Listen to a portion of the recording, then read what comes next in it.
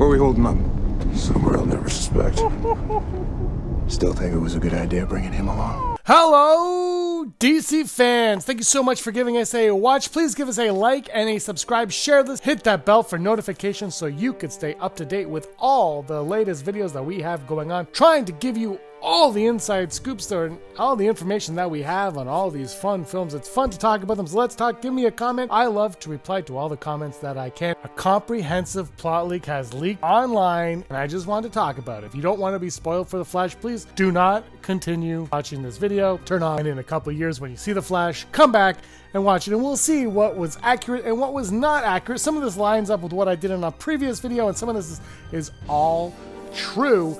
Uh, so let's get right through it. It's very exciting. It looks like Henry Cavill Superman does actually get killed by Zod as a baby, but more on that in just a little bit because it is not all doom and gloom.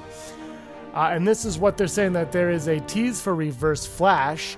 Uh, when Barry's mom is killed, a yellow figure smiles at Barry and lunges at him. Barry escapes before the yellow figure can get to him.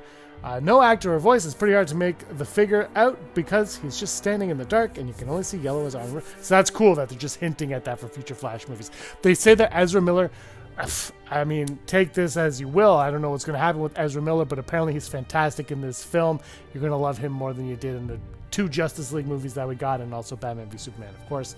Black Flash is not the villain of the film. Future Flash is the villain. Uh, they merged into two characters. It's essentially Future Flash just wearing Black Flash's suit. And there are three Barrys in the film, and the Barry we see in the trailers, long hair, gets brutally killed by evil Barry. This also goes on apparently that Zod actually also brutally murders Supergirl and Michael Keaton's Batman. Not sure how that plays a factor in this, as we'll get reports later on that those two characters exist beyond this movie, of course. Future Flash is just a second Barry, but from the future, his motivation is that when DCEU Barry came to the universe, he ruined everything and destroyed his world. He had gotten obsessed into saving his world and keeps trying to reverse time from getting it destroyed but fails. So he decided to go to the person who caused this.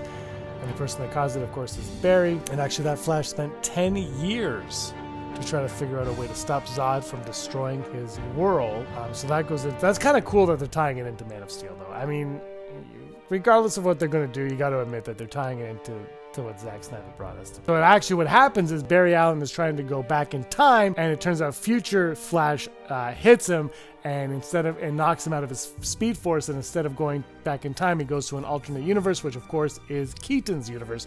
And Sasha Calle is Supergirl.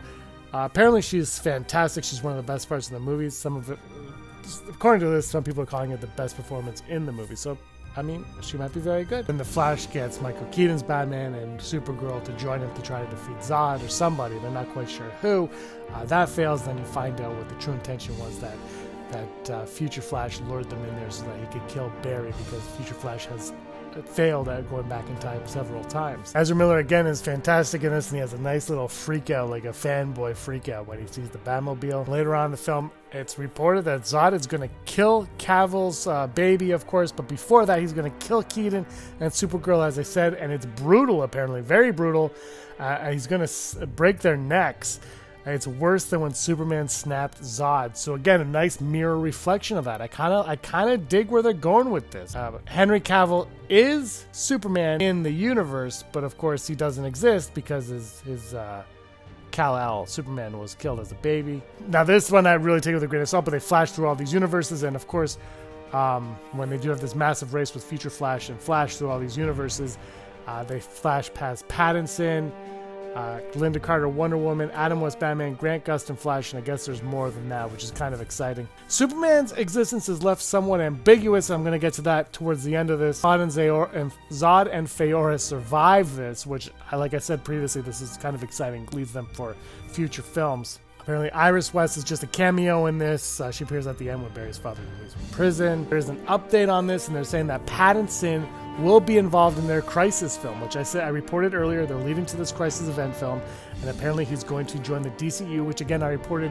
uh, several videos before that that is what they were planning on having him in. So he'll stick with the Reeves verse. The Reeves verse is going to be the Reeves verse, and Pattinson will be allowed to escape that on his own, and Reeves won't have anything to do with that. He'll kind of stick with his own stories, which is cool. I'm, I'm all in on. It looks like we might be getting a, a gender bent Mirror Master or Killer Frost. I'm let's go with Killer Frost. I just I love that, uh, but they're not sure of that, so no concrete evidence there. Don't expect any wild cameos. I don't know how you can not expect wild cameos when they just say a second earlier that you're going to get Pattinson, Carter, Adam West, and Grant Gustin. Like, those are pretty wild. Apparently, this film has an overall feel of like Wizard of Oz type stuff. Ben Affleck, again, does not die, but he's not part of this new timeline. That's Michael Keaton is not part of this timeline. And again, the, the end credit scene, the post credit scene, there's two, there's a mid credit scene and a post credit scene. And the post credit scene is Ben Affleck saying, Come find us, Barry, which is very exciting. And the mid credit scene is actually Flash and Aquaman.